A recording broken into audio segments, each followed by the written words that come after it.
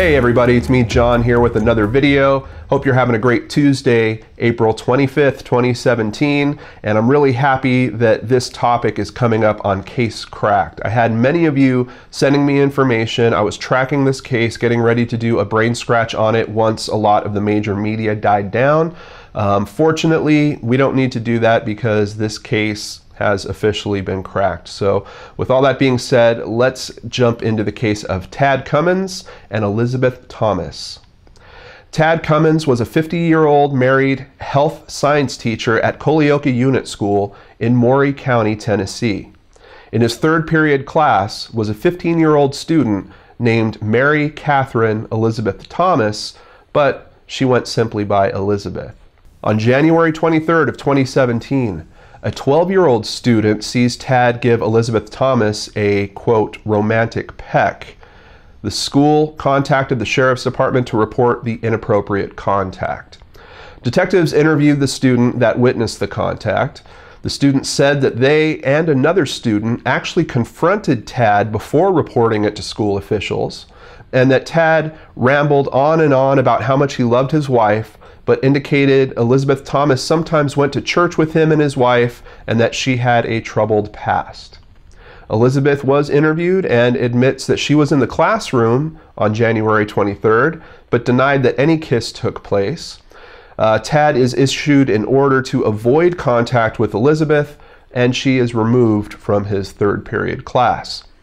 On February 3rd, Elizabeth is in Tad's classroom for approximately 30 minutes. Three days later, Tad Cummins is suspended from his teaching position. Tad then takes out a loan for $4,500 to supposedly help him float the bills while he's suspended without pay. On March 13th of 2017, Tad tells his wife Jill that he needs to borrow her Nissan Rogue for a job interview at the Williamson County Medical Center. Later that night, she finds a note at home saying that he's actually traveling to the Washington, D.C. area to clear his head, and he asks her not to contact police. Elizabeth Thomas's father does contact police when she doesn't arrive home on the evening of March 13th, 2017.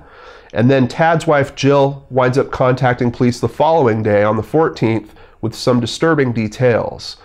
He took the money from the loan, clothes, and two handguns with him. Investigators would also learn that Tad had recently picked up two refills on his prescription for Cialis, a medication that is used to treat erectile dysfunction. He also made a two night hotel reservation at a Super 8 in Oklahoma City, Oklahoma, for a room with only one bed. It seems like Tad had a very specific plan in mind for what he was going to do that first weekend, but the question of did Elizabeth go willingly or not is still a tough one to answer. On March 14th, the school officially terminated Tad Cummins. He would be listed as one of Tennessee's most wanted fugitives, and an Amber Alert would be issued.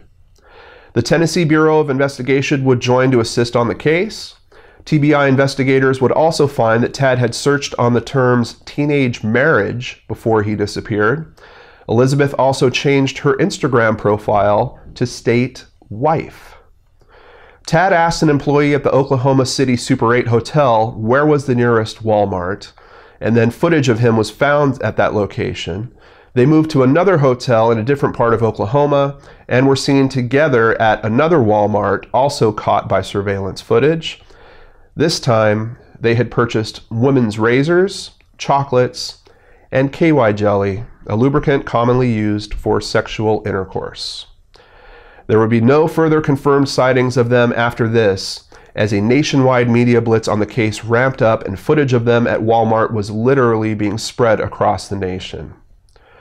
With proof that this was now a case moving across state lines, the FBI would also get involved, but it would all come down to a cabin rental groundskeeper in Northern California, over 2,400 miles away from Culleoka. Griffin Barry had actually spent some time with the couple, who told him that they had lost their home in a fire and used fake names. Tad called himself John, saying he was only 44, and Elizabeth was now called Joanna and said that she was 22. John and Joanna were supposedly from Colorado. They had supposedly gotten recently married, and they were headed to Black Bear Ranch Commune with only 10 bucks left in their pocket. Griffin Barry gave them $40 cash and some gas to help them get there. Black Bear Ranch in Cecilville, California is close to the Oregon border. It's an 80 acre intentional community. It was founded in 1968 with the slogan Free Land for Free People. Black Bear Ranch was a subject of the 2005 documentary Commune and has approximately 40 residents. However, it didn't seem to go too well for John and Joanna when they arrived there. Uh, they were back within two days, and Griffin Barry was offering them a 12 foot by 12 foot cabin to stay in as long as John would help Griffin build a rock wall. Griffin wasn't familiar with the case, but a friendly neighbor was noticing several red flags and told Griffin about them. Their car, a Nissan Rogue, had no license plates. John would usually speak for Joanna and did his best to keep her separated from everyone else. She would literally whisper into his ear, and he would tell others what she had said. Griffin then saw the details of the Amber Alert and knew it was the couple that was being looked for. They initially considered confronting the couple and trying to contain them, but opted not to due to Tad's status of being potentially armed and dangerous. They contacted local sheriffs who were two hours away, but they did immediately come out and a coordinated effort to catch Tad Cummins was put into play. Griffin even assisted, as he was the prompt for Tad to come out and start working for the day. Police immediately apprehended him and found Elizabeth nearby. It's reported that Tad went peacefully, even stating that he was glad it was all over. Authorities say that Elizabeth Thomas was laughing and crying at the same time and appeared healthy and unharmed, but they were concerned about her state of mind and emotional well being. She's being treated by experts, and some people believe she has a long road ahead of her in terms of recovering and truly understanding what she's gone through. On April 21st of 2017, Elizabeth was reunited with her family. Tad Cummins is facing federal charges of transporting a minor across state lines with a minimum sentence of 10 years, as well as charges of sexual contact with a minor and aggravated kidnapping. The FBI has taken him into federal custody as their charges have jurisdiction over the local charges, and he's now awaiting a series of upcoming court dates. Tad is also likely to learn of another surprise.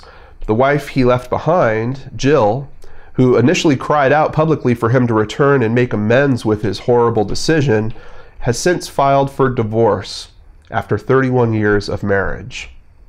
So, did Elizabeth Thomas want to go with him or not? A court petition was filed by Elizabeth's family saying that Tad was grooming her for months. It states that she was forced to go out with him or face repercussions at school. It also states that she told friends she was scared of him and that she felt in over her head. It also talks about an incident that took place where he showed up at her fast food job and she asked another employee to tell him that she wasn't there while she hid from him. At the age of 15, the question of did she want to or not doesn't necessarily matter. In Tennessee, the age of consent is 18, though there is a Romeo and Juliet law stating that an exemption could be made if they were close together in age, Obviously, with him being 50 and her being 15, this case doesn't qualify for that. Case cracked, but um, obviously some repercussions that everyone is going to have to deal with in this. Uh, of course, I feel terrible for the wife, Jill, and um, I'm kind of proud of her for making that decision to go ahead and file for divorce even before they were found. So she was already on the on the track to to get this done. I think that was um, really brave of her to, to be able to do that. And Elizabeth's family um, seemed to have a big piece of work in terms of getting these court petitions filed and being the initial catalyst for them when they went missing. So it seems like she has a father that cares about her a lot. Uh, if you look into this case, there is some dialogue about her home life. I'm not sure if it was uh, an excellent upbringing by some people's standards. Uh, I believe she has nine siblings, so it may be that um, it was easy for someone that was giving her attention to kind of woo her away or groom her in that way. Um, and Tad's backstory uh, isn't the most solid either. A couple of bumps, particularly when he was younger. Um, but you know nothing that would clearly show that he would be capable of doing something like this and i think ultimately the best outcome is that they were found before something really tragic or bad could have happened. For example, if she eventually came to her own decision about not wanting to be with him on this trip or something like that, um, knowing that he took weapons with him, uh, you have to wonder how that could have played out in a much different way. And I'm very, very happy that that did not turn out to be the case. Uh, this seems beyond a midlife crisis. You know, the, the activity that he did leading up to this, um, this was pretty well staged, pretty well planned. Um, who knows if there was another ending in this that he could have had in mind. I'm just very, very thankful that the groundskeeper did the right thing, notified the authorities, and the authorities did an excellent job in terms of getting this shut down uh, with everyone um, being safe and brought in appropriately. So. Thank you all so much for joining me here on Case Cracked. I hope you're having a great week, and I'll catch you right back here on the LordanArts channel.